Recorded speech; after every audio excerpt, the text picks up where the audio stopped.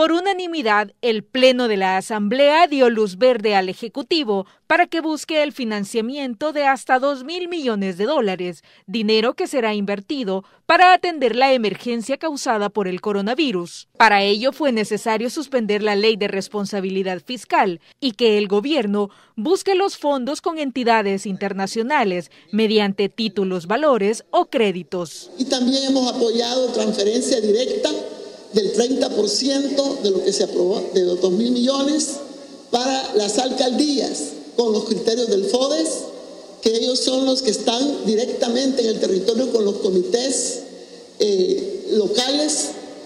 De tal manera que nosotros esperaríamos que esta suma esté ahí a disposición del Estado para que le ejecute el gobierno de El Salvador en forma racional, porque cada centavo que se gaste lo va a tener que pagar hasta el último de nuestros compatriotas en el tiempo. Hoy le estamos aprobando aquella promesa que se ha hecho de darle al pueblo salvadoreño los famosos 300 dólares.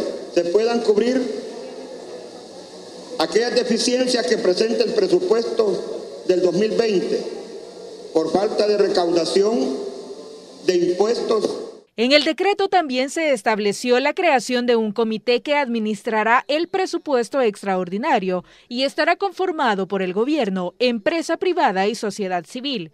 El comité podrá apoyarse en la Corte de Cuentas de la República para desarrollar sus funciones. Va a estar la UCA, va a estar eh, FUSADES, va a estar ANEP y va a estar la Cámara de Comercio.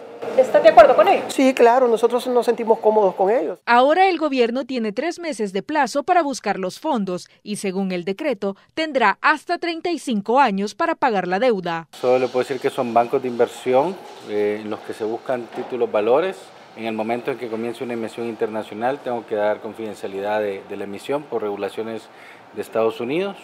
Eh, y estamos hablando con todos los bancos multilaterales para poder eh, alcanzar la meta de los 2.000 millones. El Salvador actualmente tiene una deuda equivalente al 70% del Producto Interno Bruto y según el titular de Hacienda, con los fondos para emergencia, esta deuda se incrementará un 8%.